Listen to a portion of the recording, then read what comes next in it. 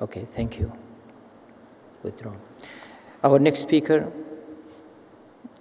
Ms. Teresa Chantel Oku, also Deputy Minister and Digital Economy and Communications. Gabon. Floor is yours.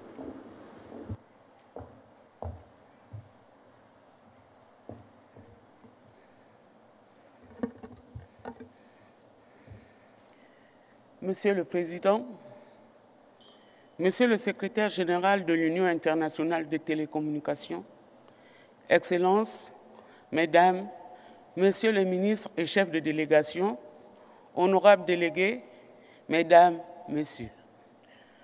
Au moment où j'ai l'honneur de m'adresser à cette auguste assemblée, permettez-moi tout d'abord, au nom du président de la République gabonaise, chef de l'État, son Excellence Ali Bongo Ondimba, de remercier les Émirats arabes unis d'avoir accepté d'être notre hôte à l'occasion de cette 20e conférence des plénipotentiaires de l'Union internationale des télécommunications. Ces remerciements s'adressent également au peuple émirati pour sa chaleureuse et légendaire hospitalité dans cette ville ultramoderne et futuriste de Dubaï. Je voudrais également, Monsieur le Président, Excellence, Monsieur Majed Al-Mesmar, au nom du ministre d'État empêché, Monsieur Guy Bertrand Mapangu, au mien propre, ainsi qu'à celui de l'ensemble de la délégation gabonaise qui m'accompagne aux, aux présentes assises, vous adresser nos chaleureuses félicitations pour votre brillante élection à la tête de cette prestigieuse conférence.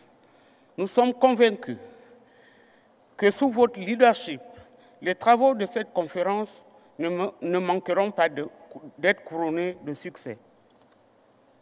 Monsieur le Président, je voudrais également me saisir de cette occasion pour rendre un hommage mérité et appuyé aux femmes et aux hommes de l'UIT pour tous les efforts déployés par cet organisme des Nations Unies depuis sa création en direction des pays en développement pour leurs actions de conseil et assistance multiforme en matière de télécommunications et des technologies de l'information et de la communication. Je pense notamment à M. Brahima Sanou et à M. François Rancy pour les efforts qu'ils ont consentis pour le bien de l'Union qu'ils en soient ici remerciés.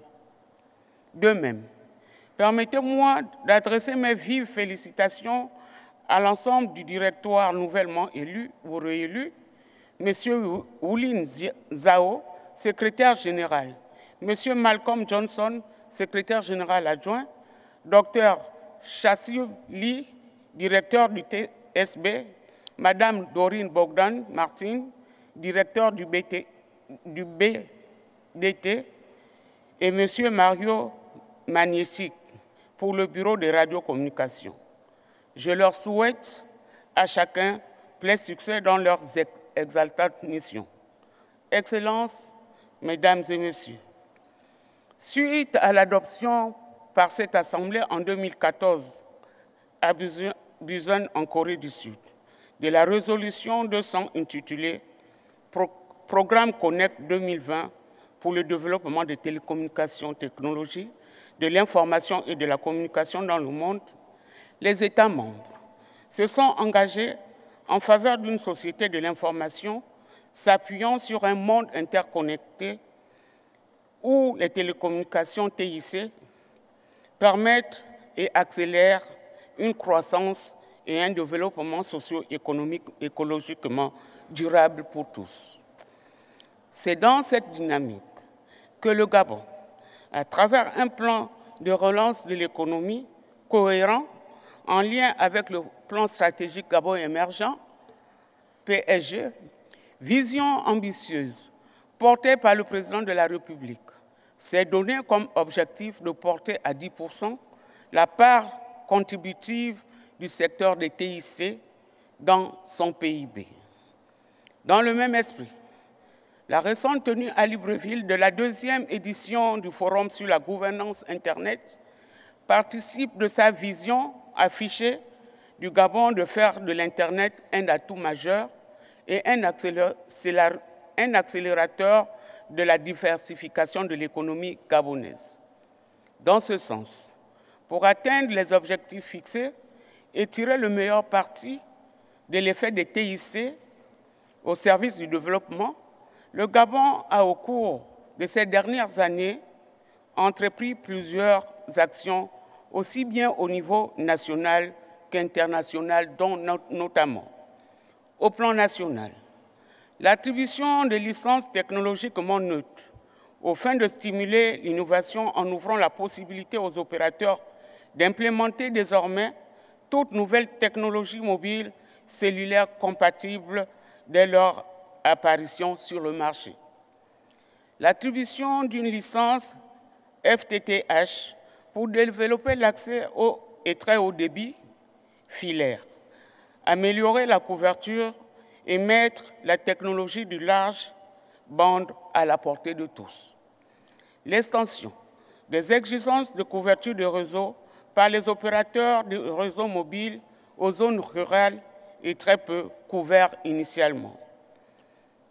L'encadrement des tarifs d'interconnexion selon le principe d'orientation vers les coûts afin de baisser les tarifs d'accès aux télécommunications et augmenter l'usage.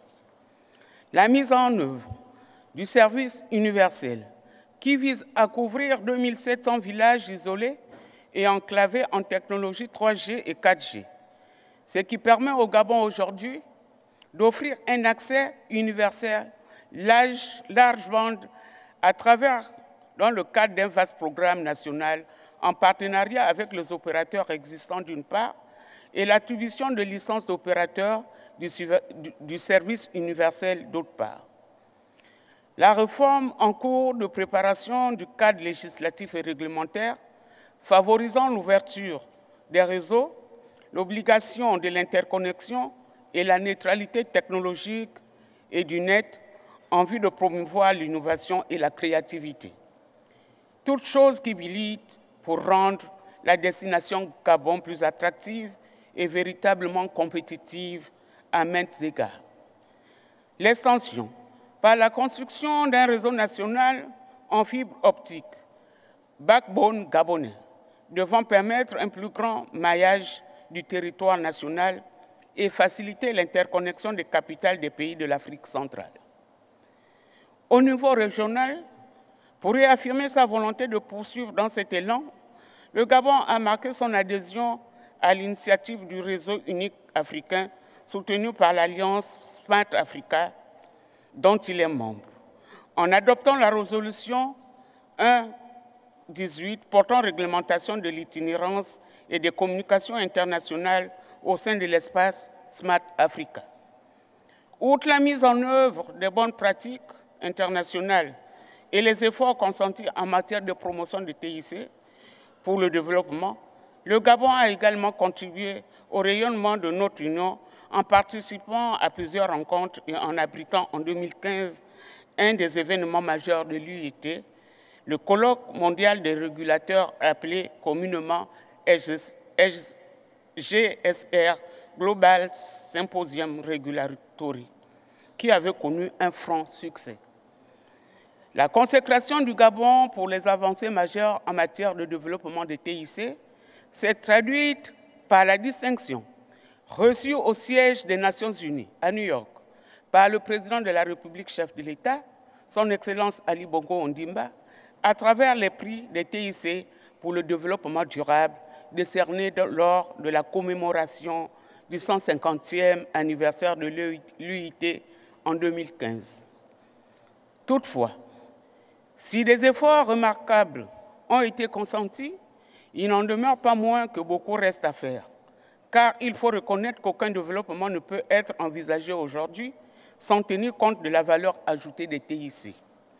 Certes, le chemin est encore long, mais face aux exigences de développement, le Gabon a fait des choix stratégiques de s'arrimer à cette nouvelle donne pour booster sa croissance afin de garantir une prospérité partagée nécessaire au bien-être de sa population.